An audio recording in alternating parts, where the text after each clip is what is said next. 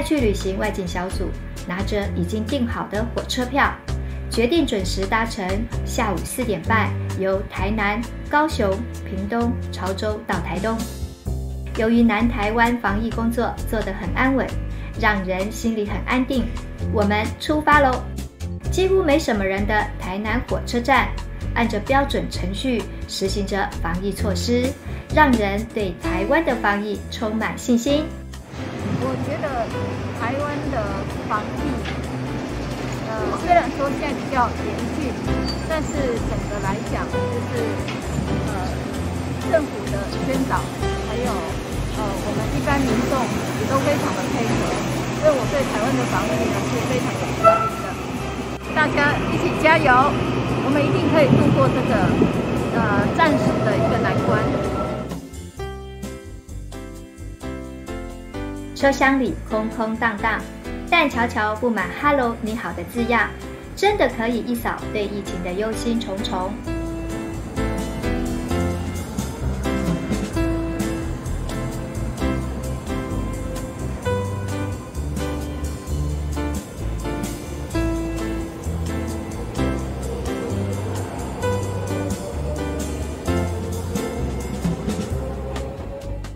到台东，如果是搭乘普优马，大约两个多小时车程；如果是搭乘一般自强号，就大约要三个半小时。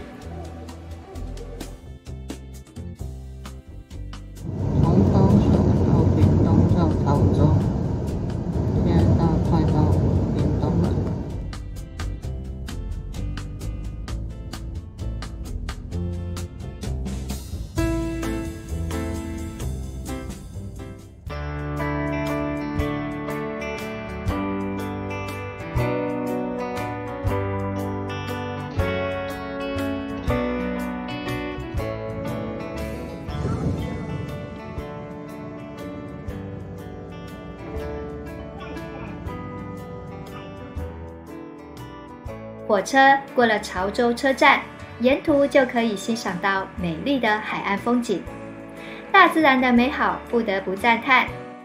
看着火车时刻显示表，快到台东火车站喽！前往台东，强烈推荐搭乘铁路系统。您可以抵达台东火车站后，再转往当地租车，不止轻松方便，更省去往返之间的舟车劳顿。而且可以事先租车，请租车公司把车开来火车站交车呢。爱去旅行外景团队因为已经有朋友先到台东了，所以等等会带我们去采买丰富的晚餐。因为疫情期间商家都采外带了。路德行旅国际青年旅馆台东馆是我们住宿的旅馆，宣称是会呼吸的建筑。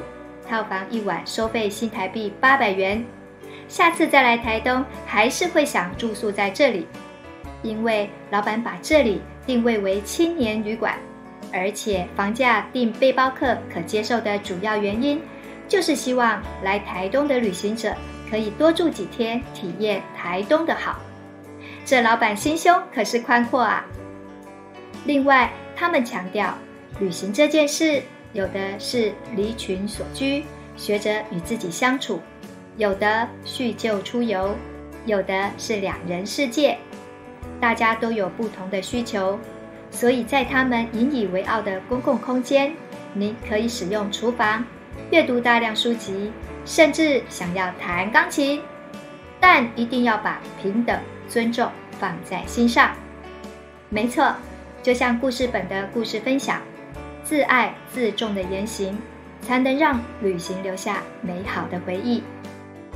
我选这间的饭店的原因，是因为它的空间感比较舒服，就是它的呃休息的地方，看过去很多植栽，就感觉在大自然里面，也不会怎么样。就是我觉得这里非常好的地方。旅行之所以迷人。就在于你可以轻易到过一个地方，却始终很难看尽它的全貌。台湾是福地，善良台湾人一定很快走出疫情噩梦。台湾加油！天佑台湾，天佑全人类！美味的烟熏肉拿。那个来看你。台湾处处是温暖，特别是爱去旅行外景团队的好朋友，已经为我们准备了在台东有名气且不便宜的烟熏肉，然后还来到这家高挂两个灯笼的店，它到底卖什么呢？让你猜猜看。公布答案，披萨，你猜对了吗？据我们好朋友的分享，这披萨可是好吃到爆呢！打开天井，让建物自然呼吸，让阳光在中庭流转的旅馆，简直就像一座绿树林，让你可以自在又安心的像在家中一样惬意。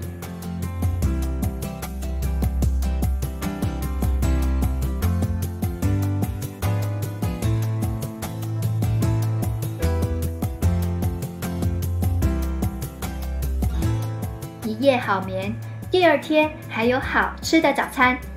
旅馆与附近早餐店家做结合，每间住房赠送五十元餐券，让您自己挑选喜爱的早餐。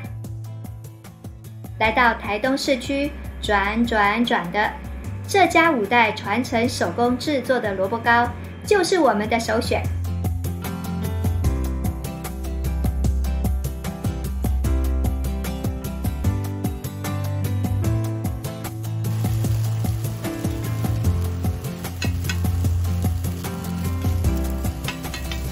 回去享用哦。